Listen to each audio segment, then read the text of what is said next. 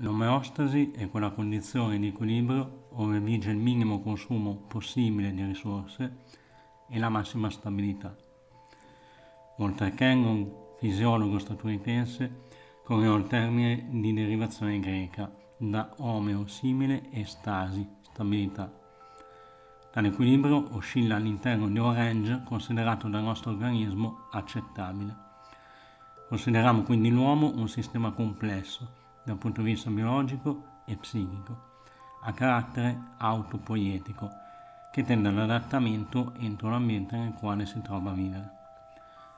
L'autopoiesia è un termine coniato nel 1980 dai biologi cileni Umberto Maturana e Francisco Varela, a partire dalle parole greche auto, se stesso, e poiesis, creazione un sistema autopoietico è quindi in grado di ridefinire continuamente se stesso. Possiamo quindi assistere ad un sistema circolare di feedback retroattivo dove ogni informazione viene letta, interpretata e rappresentata internamente. Ciò comporta la costruzione di schemi e mappe quali guide per il nostro comportamento. L'interazione e la differenziazione tra stati interni e fattori esterni comporta la creazione dell'identità intesa come senso di coerenza e continuità del sé in alternativa all'ambiente. Tale sistema dovrà essere adeguato, ovvero dovrà possibilmente ottenere gratificazione evitando perturbazioni di rilievo, ovvero disagio.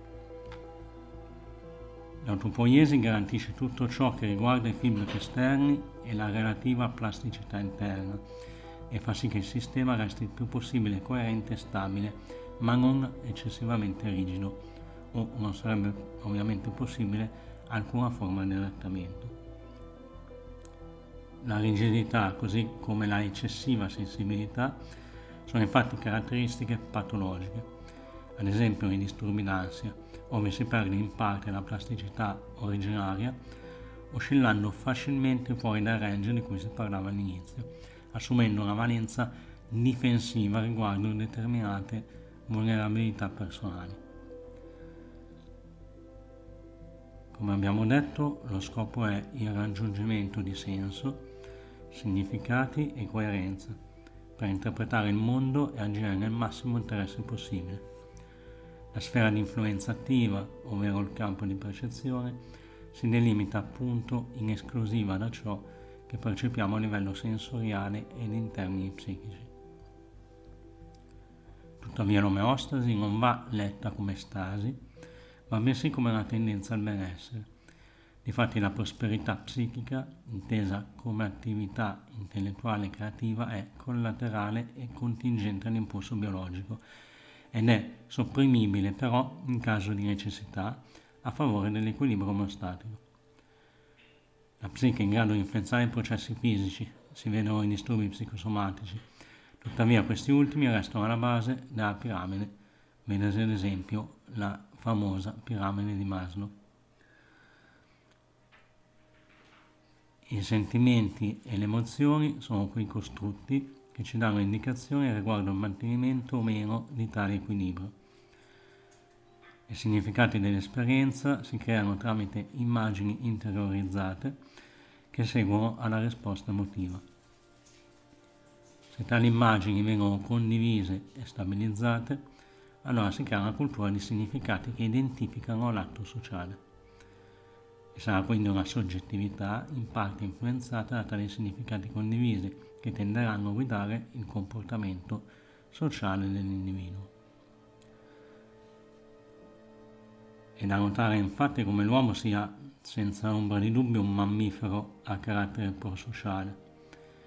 Nei mammiferi la cooperazione è utile agli scopi della sopravvivenza rinunciando a parte della propria indipendenza. Da qui la socialità che può benissimo venire considerata in termini di utilità. I casi di fobia sociale, ad esempio, indicano chiaramente come il senso di appartenenza collettiva sia necessario ai fini della sopravvivenza. L'organismo conserva tale istinto trasmutandolo in necessità psichica, ma nemmeno la catena sociale può considerarsi più importante dell'ente individuale. Perfino l'altruismo e l'empatia nascondono convenienza, perché la creazione di un ambiente collettivo basato sulla cooperazione porta ad un ritorno sul piano dell'utilità e della gratificazione.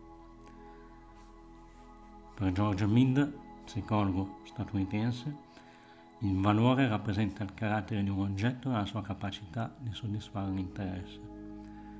L'intelligenza è la capacità di organizzare e scegliere la risposta maggiormente adeguata ad una situazione ambientale problematica. La risposta più intelligente sarà in conclusione la più vantaggiosa possibile. L'obiettivo principe, come già detto, è perseguire il benessere ed evitare la sofferenza. In conclusione, abbiamo visto come il sistema psichico dell'uomo sia un'organizzazione complessa che tende all'omeostasi, intesa come tendenza verso il benessere. Abbiamo visto altresì come l'adeguamento all'ambiente sia necessario come adattamento tra risorse interne e richieste esterne per la conservazione di tale equilibrio, che va necessariamente mantenuto all'interno di un determinato range. Formeremo quindi mappe e guide cognitive e comportamentali utili per definire il senso di sé e del proprio agire anche all'interno di un contesto sociale di stampo utilitaristico.